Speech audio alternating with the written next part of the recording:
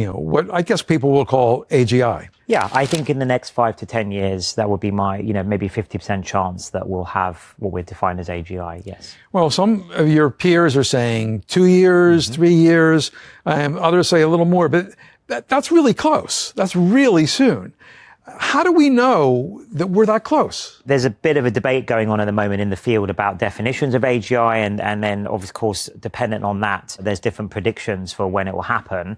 Uh, we've been pretty consistent from the very beginning, and actually, Shane Legg, one of my co-founders and our chief scientist, you know, he helped define the term AGI mm-hmm. back in, I think, early, you know, 2001 type of time frame. And we've always thought about it as, you know, a system that has the ability to exhibit sort of all the cognitive capabilities we have as humans. And the reason that's important, the, the reference to the human mind, is the human mind is the only existence proof we have maybe in the universe, mm-hmm. that general intelligence is possible. So if you want to claim sort of general intelligence, AGI, then you need to show that it, it, it generalizes to all these